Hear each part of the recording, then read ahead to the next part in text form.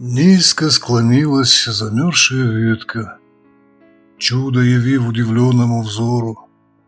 Лист за родителя держится крепко вымершим, оледенелым узором.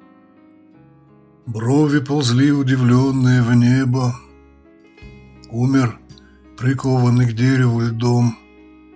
Канули листья в осеннюю небыль этот Не бросил родительский дом. Преданный дереву, лист на морозе напоминал не о смерти своей. Разум, сраженный банальной прозой боли, сочувствовал старых людей, тех, кого бросили глупые дети, не оценив их труды и любовь, и, разлетевшись, как листья по свету, предали папину с маминой кровь.